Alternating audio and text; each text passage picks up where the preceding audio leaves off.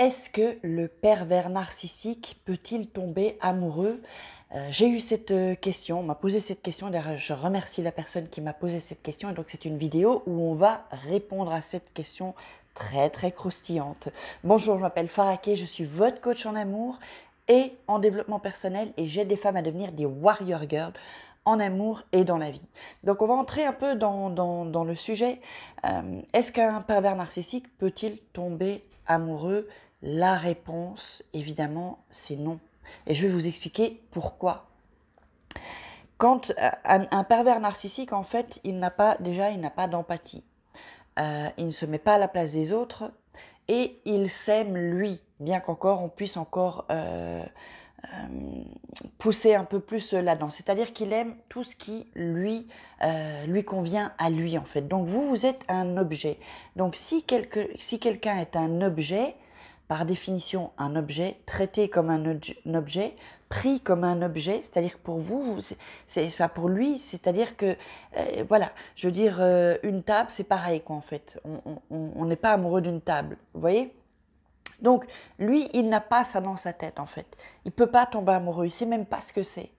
Et euh, je me souviens, donc, puisque vous savez que moi je suis passée par là, j'ai pensé en, justement quand on m'a posé la question, est-ce qu'il peut tomber amoureux?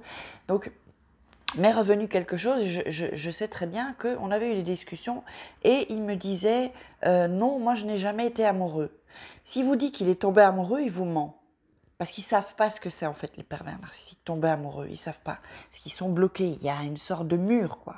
De mur, ils n'ont pas passé un cap euh, durant l'enfance.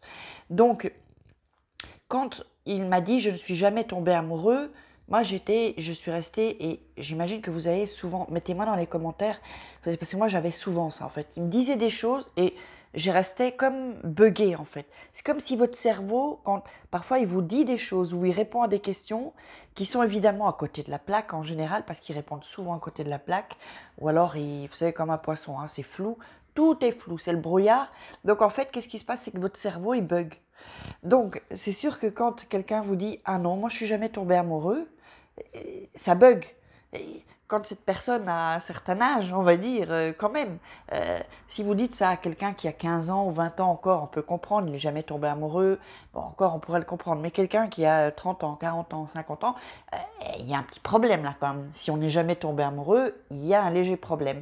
Donc du coup, moi je me souviens que ça me buguait. Et en fait, je vous raconte ça pour vous expliquer en fait le bug que j'ai ressenti au niveau de, mon cerveau, ce que moi j'ai ressenti, pour que vous puissiez euh, certainement vous identifier et puis mettez-moi dans les commentaires comment vous, vous l'avez euh, ressenti en fait. Donc il me dit ça, et il y avait d'autres choses encore, mais je me rappelle spécifiquement ça. Je dis mais tu es jamais tombé... Non, je ne suis jamais tombé amoureux. Donc je me souviens bien de l'endroit même où c'était. Moi, ça fait bug dans mon cerveau, c'est-à-dire qu'il y a un arrêt dans votre cerveau. Il y a un truc qui, c'est-à-dire, euh, comme ce n'est pas euh, normal, entre guillemets, c'est très étrange, ce genre de, de, réponse. C'est pas courant, parce que tout le monde en général est tombé amoureux. Donc vous restez, vous buguez. Donc c'est comme si vous êtes. Euh, voilà, c'est comme si j'étais. comment expliquer? Voilà, je pouvais plus bouger, hop, mon cerveau, hop, il bug. Ça bug, ça bug, ça bug. Donc penser, ça vient après en fait. Donc il y a un moment où vous êtes, euh, vous savez plus quoi penser.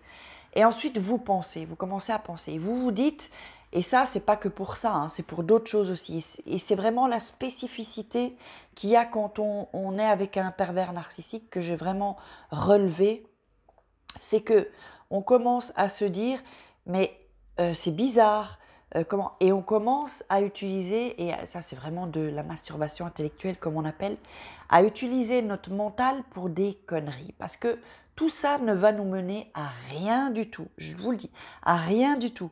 Parce qu'on est en train de penser, penser, enfin réfléchir plutôt. On réfléchit, on réfléchit, et on n'obtient pas de réponse. Et vous n'obtiendrez pas de réponse, pourquoi? Parce que ce n'est pas normal en fait. Vous voyez, c'est pas... Euh, ce n'est pas courant, c'est pas dans des généralités. Donc il nous donne des, des, des, réponses, euh, comme je vous dis, ça pourrait être une autre question, ou c'est complètement à côté de la plaque, ou pas courant du tout. Donc du coup, nous, c'est même si on est un peu choqué en fait. on est un peu en état de choc en fait. Euh, Et là, c'est-à-dire qu'il modifie un peu notre conscience, hein, petit à petit, euh, le pervers narcissique. Hein. il nous conditionne, euh, il nous rééduque, hein, entre guillemets, mais il nous reconditionne. Vraiment, c'est du conditionnement mental. Et donc, en fait, donc, avant de continuer, si vous n'êtes pas déjà abonné, je vous invite à vous abonner, c'est en dessous, et puis activer la petite, euh, les notifications pour recevoir donc toutes les notifications. Et puis bah, allez voir vos cadeaux, c'est en dessous, à gauche, à droite. Allez voir vos cadeaux euh, dans la description euh, en lien. Donc, on revient. Donc c'est vraiment, c'est très difficile, c'est pas évident à expliquer. Hein. C'est pour ça que j'ai vraiment besoin de, vos commentaires quand euh, le cerveau bug comme ça, c'est vraiment très très très très très particulier. Hein. Et c'est ça en fait qui fait qu'on reste hypnotisé. C'est ça qui fait qu'on est euh, comme un robot en fait. On n'arrive plus à penser parce qu'on est en train de réfléchir, réfléchir, à faire le tour de comment ça se fait, pourquoi est-ce qu'il me dit ça, est-ce que c'est normal, est-ce que c'est pas normal, je trouve ça bizarre. Vous voyez, on est en train de ressasser, ressasser le mental et on devient dingue. Les filles, on devient dingue. C'est pour ça qu'ils nous rendent dingue en fait. C'est parce qu'ils sont en train de nous faire tourner en rond euh, au niveau de notre mental. Donc quand, je l'ai déjà expliqué dans certaines vidéos, quand dans le cerveau, euh, au niveau des, hémisphères droit, hémisphère gauche, quand on vous donne une information, pardon, là j'ai fait un rototo. Désolée, je vais pas couper parce que c'est naturel sur cette chaîne. Donc quand on fait, euh, quand on nous donne une information euh, positive et puis une information négative, c'est-à-dire des, informations contradictoires, le cerveau il bug. Il bug, c'est d'office. Il bug, je vais boire un peu. Hmm. Me voilà que je fais des rototos sur la chaîne YouTube. Mon Dieu, Farah, qu'est-ce qui se passe? Donc, c'est pour ça qu'il faut vraiment pas que vous culpabilisiez quand vous êtes fait, vous êtes dans les griffes, vous, vous avez une relation avec un pervers narcissique, il vous faut le temps en fait de pouvoir remettre de l'ordre en fait dans votre esprit. Alors, parce que je sais que j'ai encore eu des commentaires, j'ai lu hier d'ailleurs, euh, on se sent euh, il y a comme une sorte de, dépersonnalisation, de, de, on se sent euh, coupé un peu de nous-mêmes en fait. On n'est plus en connexion avec nous-mêmes et c'est ça qui fait qu'on est mal, qu'on n'est pas bien et qui fait qu'on est perdu en fait. on se retrouve perdu, on se retrouve évidemment très seul, on se retrouve partagé entre des sentiments qu'on qu'on croit être de l'amour, et j'ai déjà dit, ce n'est pas de l'amour, c'est de la dépendance affective. Parce que quand un homme vous aime, et quand vous vous aimez, vous n'allez plus accepter ce genre de choses. Alors, euh, évidemment, moi, je suis tombée dans le panneau, donc pas de culpabilité. Il n'y a pas à se, à dire comment j'ai pu. Si, il y a ce passage-là, mais après, on sort de ça, on sort de la victimisation et ensuite, on se reconstruit. On fait un travail sur soi-même. On fait du développement personnel, c'est excellent.